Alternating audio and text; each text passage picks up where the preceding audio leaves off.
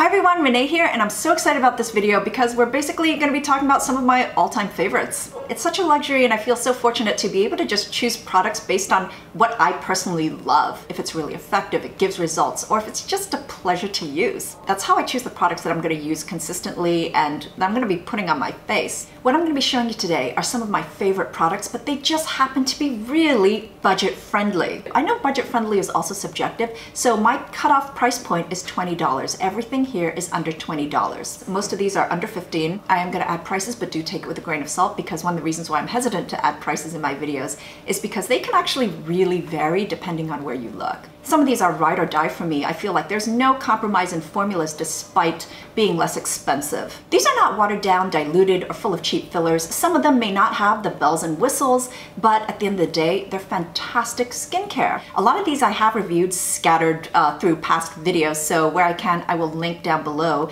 um, the more detailed reviews. Probably one of the most effective oil cleansers I've tried are these ones from the Face Shop, Rice Water Bright Light and Rich Cleansing Oils. These guys are so seriously powerful. I mean, they just melt makeup on contact. I'm talking long lasting, waterproof. It's kind of like a thin formula that you apply to your dry skin and everything just dissolves on contact. What's really great about these is I feel like these are the perfect cleansing oils for people who don't like cleansing oils. Um, if you don't like that sort of greasiness and you feel like it's heavy or whatever, these are actually very lightweight and not as oily feeling. The light cleansing oil is exactly that. It's about as thin of a cleansing oil as you could possibly find, but ridiculously effective. This is meant to be for normal to oily skin types, although for me I just feel like it, it depends on what you personally prefer. If you want something a little heavier, more robust, then um, definitely the rich cleansing oil is more for you. But it's not still not as heavy as the DHC, which, you know, I mean, I kind of like the heavier oils. I love luxuriate. It just feels very luxurious on the skin. I don't think the weight of um, these formulas have anything to do with their cleansing efficiency. I would say the only thing that isn't so great about this is, is the scent isn't very elegant. It's got a bit of a fragrance to it, but I mean, it doesn't bother me that much and it's not that strong. And I mean, it's a cleanser, so here, of course, one of my favorite discoveries of last year is the Heimish All Clean Balm.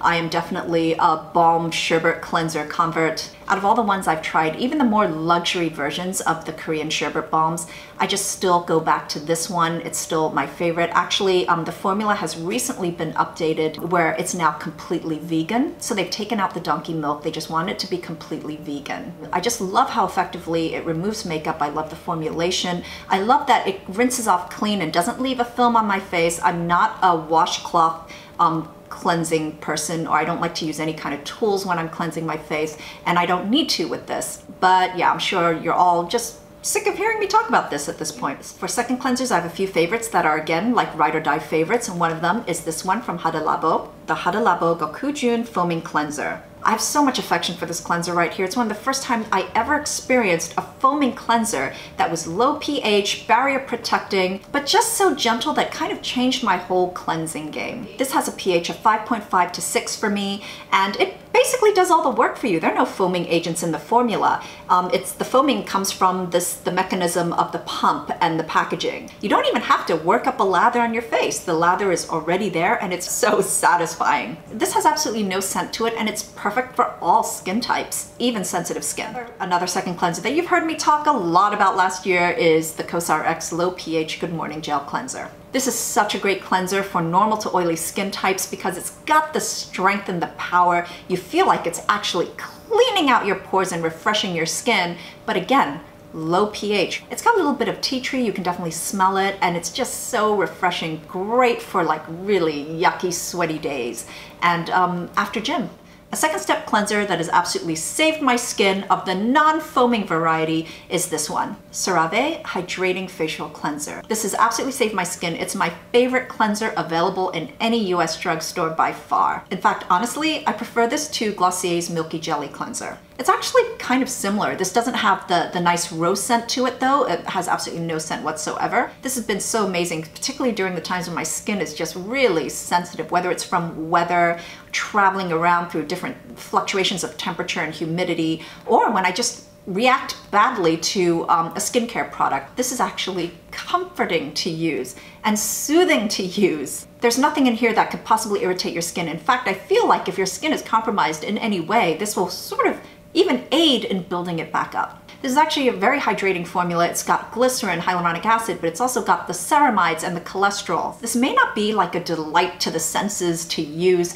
but I have to say, I enjoy using this because I just love the way it just soothes my skin so much. I won't say that this is the most effective cleanser. This is definitely a second step cleanser. Your oil cleanser has to come first and do the majority of the work. If you're someone who can't stomach just rinsing your skin in the morning and you feel like you need to give it a wash, I think this is a perfect morning cleanser. Many of you may already be familiar with this because it's just straight up awesome Secret Key Starting Treatment Essence Rose Edition. If we're gonna talk about the SK-II Facial Treatment Essence copycats, this one is closer to that than the Missha. I am only talking about the Rose Edition, which is, in my opinion, different from their regular um, starting treatment essence. This also contains a minimum of ingredients like the SK2 where the Pitera is sort of the main star. This only has nine ingredients in it. This is 94% galactomyces um, ferment filtrate, whereas with the SK2 it's 90%. It also has the additions of niacinamide,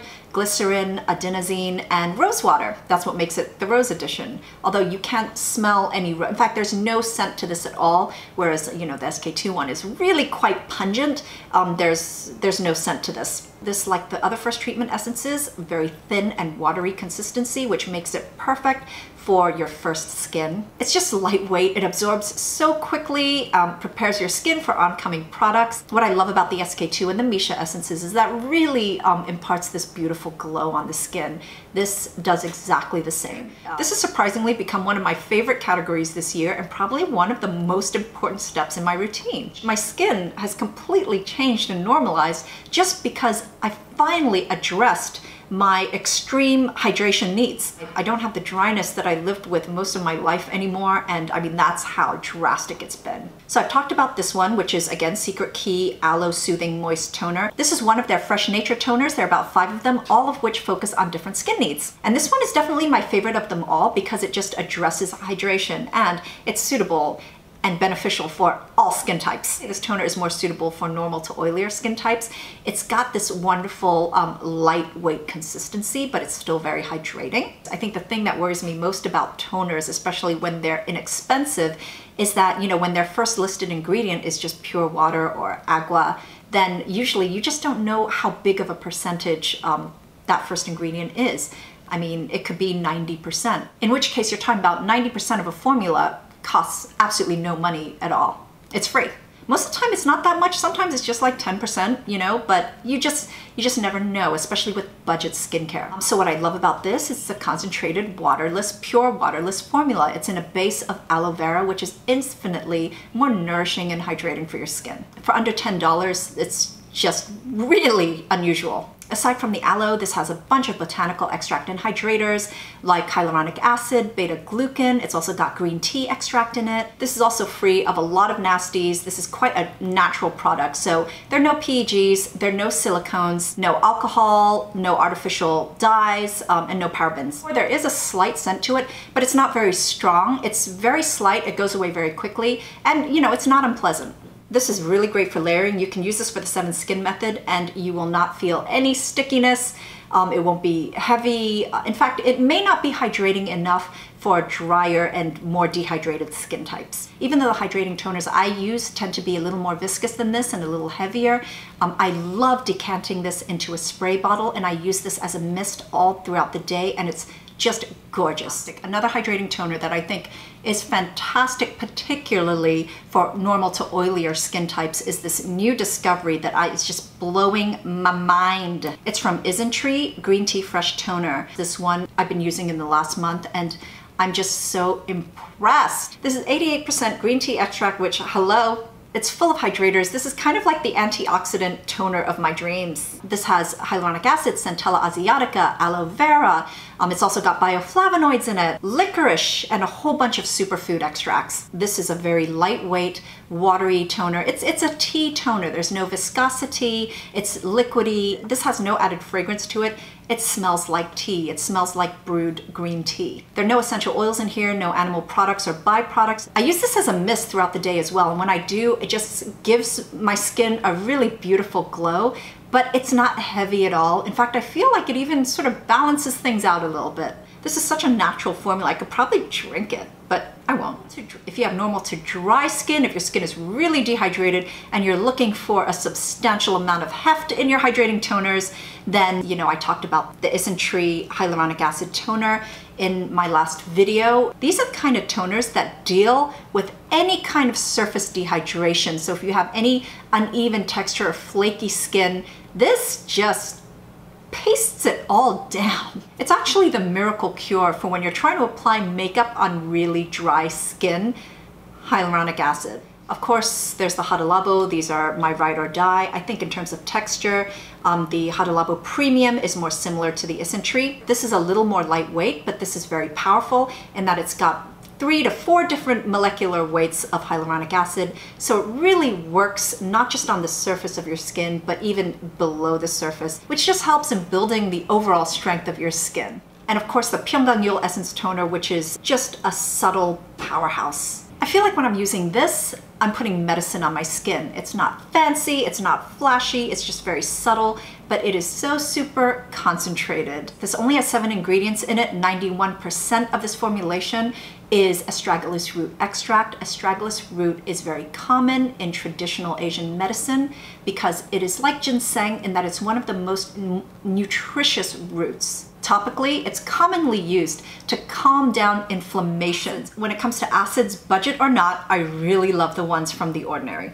I feel like their approach really aligns with my personal beliefs with acids. I feel they're very concerned about um, the, the potential irritation and damage that acid use can cause on your skin. This glycolic acid 7% toning solution is one of, in my opinion, best products in the ordinary. It's wonderfully gentle, but it's effective because I can feel a little bit of the tingling. There's no redness, there's no sensitivity afterwards. I actually find this quite hydrating. If I do use an acid toner, it's always the step immediately after cleansing before anything else, any other skin treatments. This is a gentle exfoliant that with regular use just keeps my skin really smooth, soft, glowing, and bright. Just no dullness, which is good. A few times a week, this is really all the exfoliation my skin needs. As an acid serum, I also really like their lactic acid 5% and hyaluronic acid 2%. This is different from the toner in that it's a serum and it uses a gentler acid, the lactic acid, which has a larger molecular size, so it can't get deep into your skin causing irritation.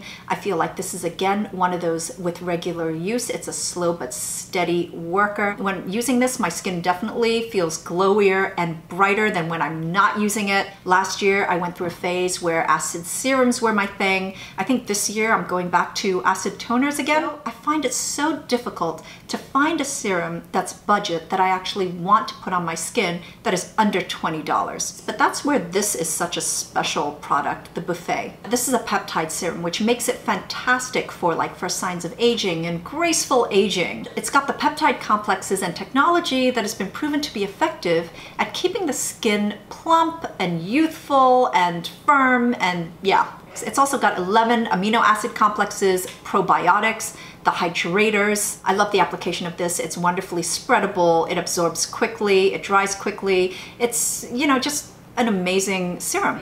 As far as vitamin C serums go and retinoids, I have more detailed videos for that planned. Thank you for your patience.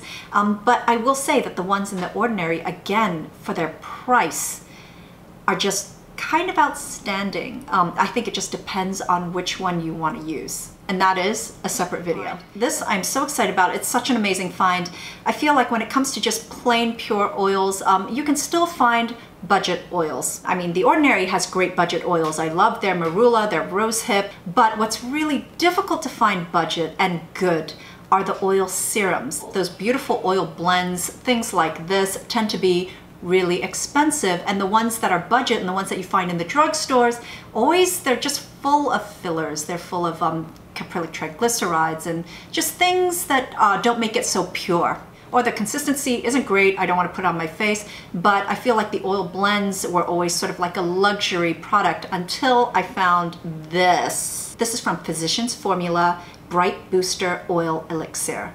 This is such an impressive oil serum. I am in love with the blends of oils in here and plus 97% of this is organic, which is usually something we're used to paying a premium for, so it's amazing. Oil serums is probably the category of skincare that I might be the most obsessive about. This is mainly camellia oil, which is one of my top favorites. It's a dry oil, so it's not heavy. It's sort of more balancing, but it's also full of antioxidants. It's the oils that geishas used. So this also has sunflower seed, argan, jojoba oil, grapeseed oil. It's got one extract in here, which is the rhodiola rosea uh, root extract. It's an antioxidant rich extract that is just fantastic for your skin, great for reversing signs of aging, and also balancing out oil. This is great for all skin types, but a lot of the oils in here make it fantastic for normal to oily skin types. It's a nice thin oil, but don't let that fool you because a little does go a long way. If you use a little too much of this, it will be greasy on your skin, but it is otherwise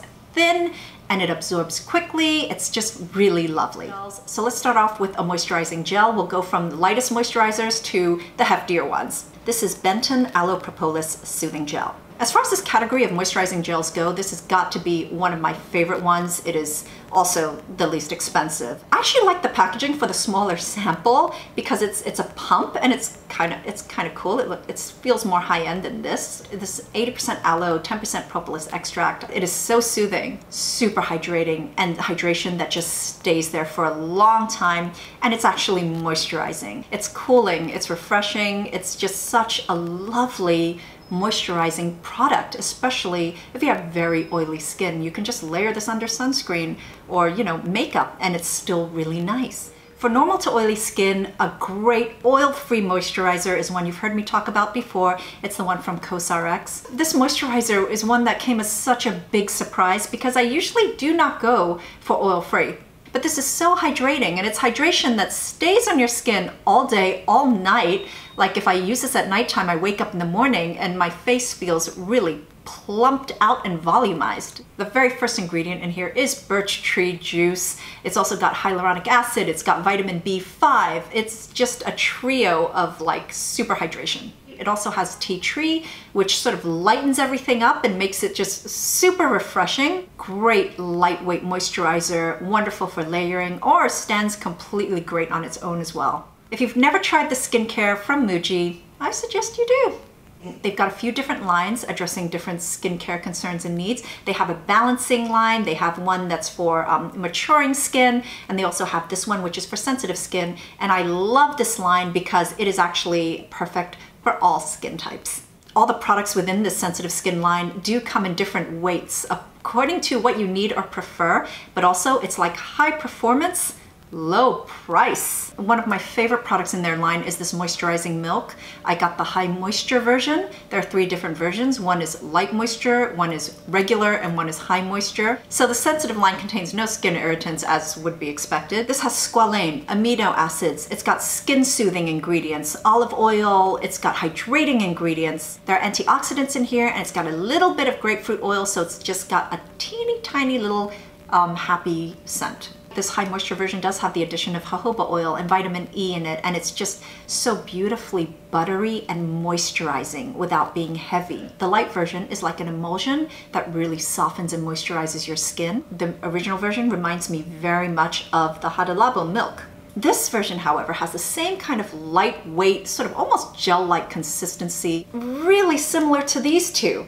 Obviously, it doesn't have all of the you know antioxidant ingredients and the luxurious ingredients, but if you're just looking for the texture and the lightweightedness and the moisturizing effect, then actually reach for this a lot. As beautiful as the ingredients in this formula is, the fragrance is really overwhelming. Um, same effect, no fragrance, skin feels just as moisturized, just as velvety, yeah, I mean, I reach for this more. Another moisturizer that I find to be awesome, incredible price, is this one from The Ordinary. It's their natural moisturizing factors and hyaluronic acid. It absorbs well on your skin. It sits under makeup really well. Their main goal is to prevent transepidermal water loss from your skin by mimicking the components that are already present in our own skin barrier. So these components are amino acids, triglycerides, lipids, ceramides, hyaluronic acid. These are what's called the natural moisturizing factors and is ultimately what our skin needs to be healthy and strong. This is not a lot of product. It comes in a tiny package. It's one ounce each, but even if you bought three of these, it will still be under $20. This is basically a less expensive version um, that's under $20 of some of my favorite French pharmacy brand moisturizers like La Roche-Posay, Toleriane. So an eye cream that I actually really like is this one from 100% Pure. It's our coffee bean caffeine eye cream. This is a, a super lightweight eye cream. So if you need something a lot heavier, then um, this will be too lightweight for you. It's almost like a gel, but it is a cream. But what really stands out, actually two things stand out. One is it has a scent of chocolate, which is just simply lovely. But more than that, I feel like it really helps puffiness. It's got the caffeine and it doesn't weigh your skin down. So it's not gonna create milia, it's not heavy in that way, but I feel like it really helps with the puffiness. I think this in combination with the caffeine um, serum from The Ordinary it's a great combination. And this is so nourishing for your skin under your eyes. It's got a base of aloe vera and rose water. It's also got rosehip oil. It's got a lot of nourishing plant extracts in here. This is also vegan. This has the coffee. It's got so much antioxidants in it. It's got green tea. It's got vitamin C. This is, this is just a very robust